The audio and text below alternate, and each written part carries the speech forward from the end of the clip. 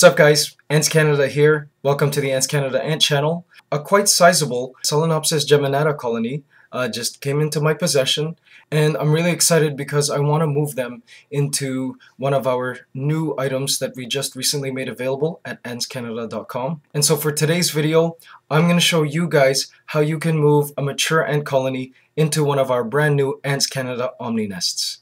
Alright guys, so I've got my Omni nest here. I've added a barrier of simply a mixture of baby powder and rubbing alcohol. Mix those together and with a q-tip I just painted a one inch band um, across the top and around the sides. Um, of course I've placed the lid back on. Another thing I've done is I've uh, hydrated one side of the nest. You can see the blue cotton there. It's nice and moist uh, the blue sponge I, sh I should say. I've also included cotton. I've stuffed cotton in there with the sponge um, because this species is um, quite hard to, I guess, uh, not really contain, but I foresee them squeezing into this um, uh, moisture chamber, this hydration chamber. So I've fortified all spaces with some cotton, which, you know, if it uh, gets moldy, I can change easily. Um, and because this species likes moderate to dry nests, I've decided to remove the sponge on this, the sponge and screen, I should say, on this side um, of the nest, and it will become a room for them. Uh, so now that this uh, Omni Nest is prepared, um, the ants are ready to be moved in. Uh, I've also taken the entrance. There's an entrance into the Omni Nest here and an entrance here. Um, and I've switched this around upside down like so to accommodate this tube which will stick into here. Alright, so now the ants are ready to be moved into this large Ants Canada Omni Nest. And here are the ants.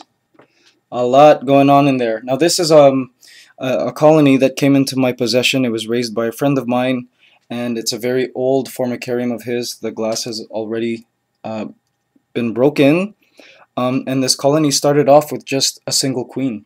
And it's been, I believe, three or four months now, and the colony is massive, and it's just ready to be moved into a better home. The colony is also attached to an outworld, which is this bucket here, by way of a tube and so I've got to come up with a plan of attack on how I'm going to connect the nest to the Omni Nest, the old Formicarium, to the Omni Nest over there, and ensure as well that the ants from the outworld, from the old outworld, are connected here to this outworld. The last time I did this, I was stung pretty badly, and I expect it to happen again. So um, the best thing you can do, I guess, is to make sure your work area is clean.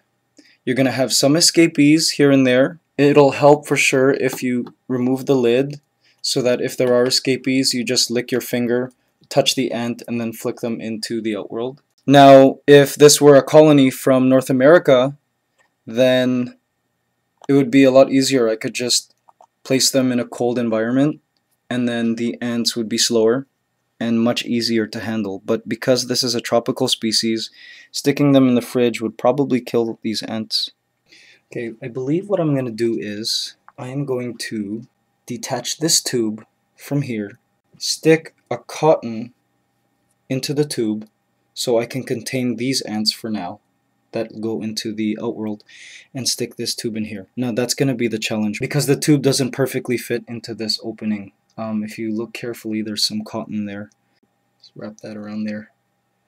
So that when I stick it into this part here, um, they won't they won't escape.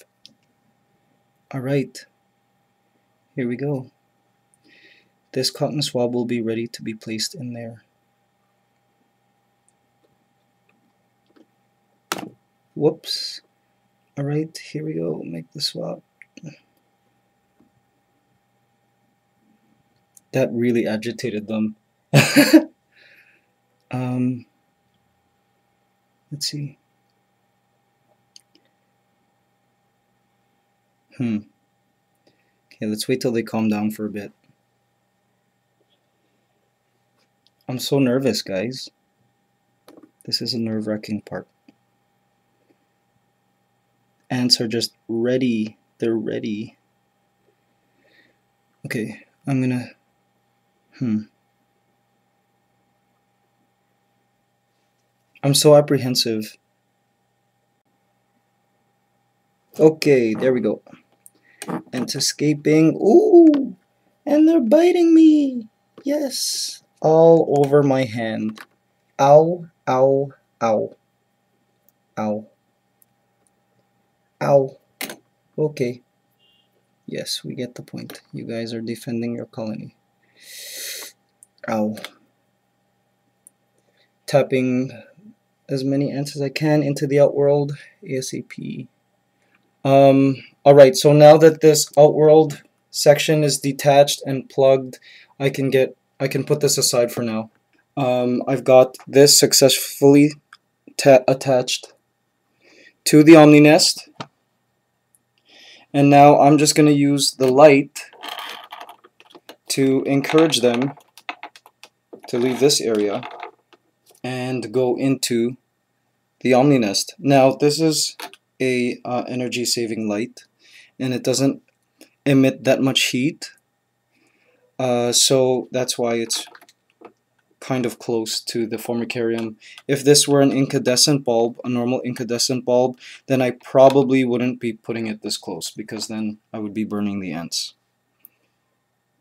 But this light should be enough to get the ants to start moving their colony through this tube and into the Omni nest.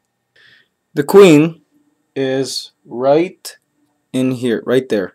She's being surrounded by lots and lots of workers because the light is really bothering her.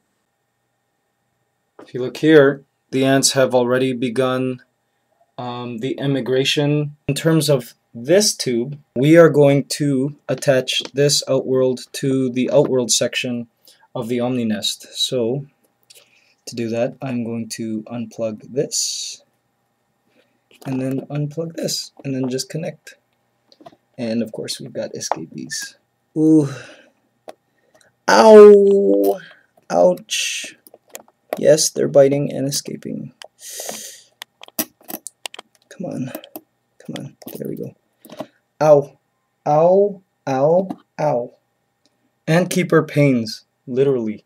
And now that the setup is all attached and ready to go um, I'm just going to leave this lamp here to um, encourage them to move out of this nest and into this nest. Um, what I can also do is I can cover the Omni nest just to make it dark and encourage them to really, really move in. Enjoy the rest of the video, guys!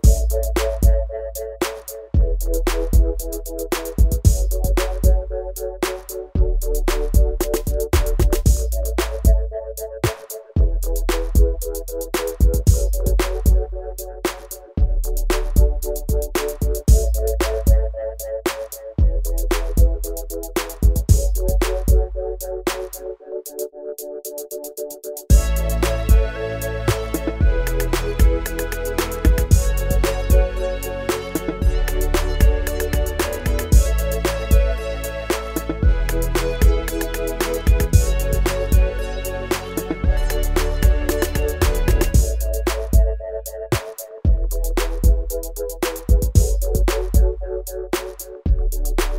you.